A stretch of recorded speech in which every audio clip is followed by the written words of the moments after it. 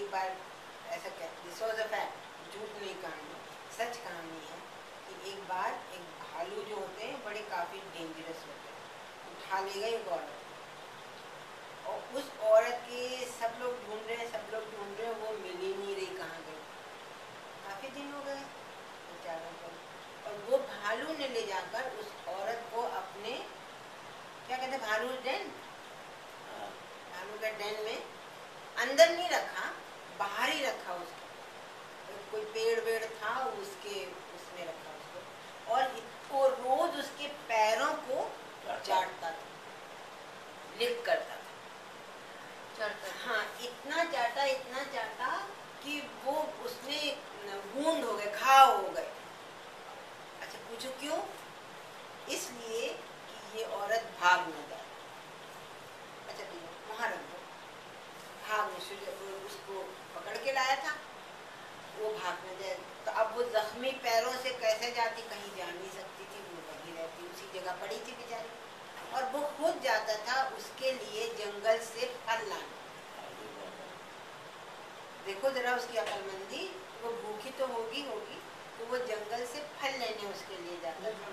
अच्छा ठीक है थैंक यू वेरी मच जाओ। Thank you very much thank you very much हाँ फिर किसी वक्त हो जाना।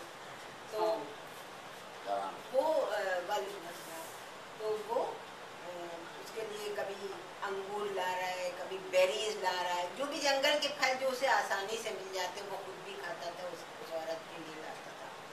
तो उसको खिला।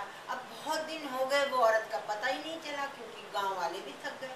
वो लॉस ट्रेस कि अब चलो अब नहीं मिलने की है तो कोई जानवर ने खा लिया होगा मार दिया होगा। कुछ दिन काफ़ी दिनों बाद लोग जंगल में फिर आए कुछ लकड़ी बकड़ी काटने। तो उन्होंने क्या देखा? अंदर काफ़ी इंटीरियर में था वो जंगल, वो औरत, और उसको उन्होंने एक पेड़ की खो ऐसी बनी होती ना समथिंग जैसे दो पेड़ हैं या एक ही पेड़ है, उसके अंदर की अंदर से निकल गया एंड अ होल बड़ा सा एक खो हम लोग बोलते हैं हिंदी में, उर्दू में, खो बन जाती है, उसके अंदर वो औरत है। लेकिन वो चल नहीं सकती, क्योंकि उसके सारे तलवे तो वो चाटता है रोज। कैन यू अंडरस्टैंड तलवे चाटना मीन्स लिक योर फीट ये नीचे वाला। फीट खाल से निकल जाती है। लिक करने से बड़ी रफ होती है। बार बार बार बार लिक करने से ना उसके पैर में वूंड्स हो गए थे जख्म हो गए थे। चल नहीं सकती थी खून निकल आता था। वो पड़ी थी वहीं पर। वो जंगलों में उन लोगों ने देखा तो उसको उठाया निकाला लाए अपने घर लाए तो और वो उसको बहुत सेफ़ लगा। देखो खाने पीने से किसी चीज़ से वो उसको परेशान जैसे प्यास व्यास होती तो मैंने सुना कि वो शहद की मक्खी मुझे छत्ता होता है बुलाता था उसके लिए। बिहाई।